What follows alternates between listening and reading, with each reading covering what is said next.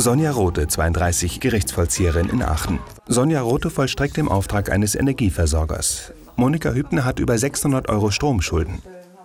Die Hartz-IV-Empfängerin lebt noch bei ihrem Ex-Freund zur Untermiete und ist auf Wohnungssuche. Außer einem Koffer voller Kleidung besitze sie nichts, sagt sie. Fernseher war vorher schon drin. Ja, ja auch nichts von Ihnen. Nein, und leer. Ganz offensichtlich ist in Ordnung. So, und das ist der viel beschriebene Koffer. Das heißt, in den Schränken ist auch nichts drin.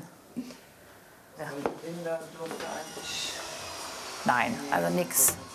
Also das ist grundsätzlich natürlich schon immer mal so eine erste in Augenscheinnahme des Raumes, wo man sagen kann, hier suche ich genauer oder hier lohnt es dann wirklich nicht. Ne?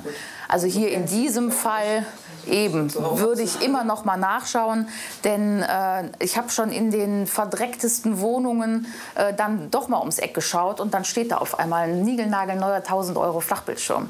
Deswegen immer zumindest eine stichprobenartige äh, Durchsuchung, dass man nachschaut, ob nicht, weil man sich ja angekündigt hat, eventuell doch Wertgegenstände in die Schränke verbannt wurden. Ne? Ist ja nicht so, dass ich das irgendwann nicht mehr begleichen will. Wenn ich einen Job hätte, würde ich es auch machen.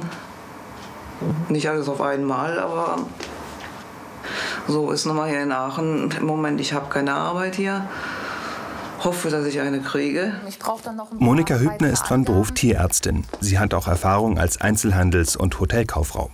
Von Ihnen ist nichts Fändbares vorhanden. Die eidesstattliche Versicherung haben Sie ja auch schon abgegeben.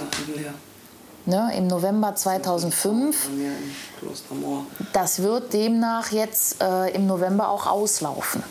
Ne, also die eidesstattliche Versicherung hält ja quasi immer nur drei Jahre. 2005 habe ich das Da verschätzt man sich häufig. Ja.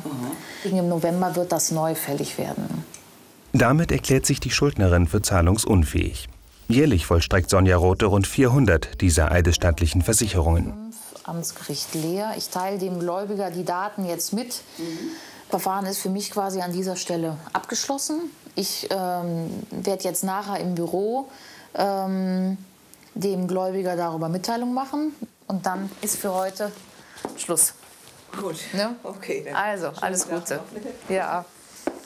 Also auffällig war ja in diesem Fall jetzt, dass trotz immenser Schulden äh, einige Sachen trotzdem noch gingen. Also teure Nägel waren drin, Blumen waren im Zimmer und die Kleidung stimmte ja nun auch.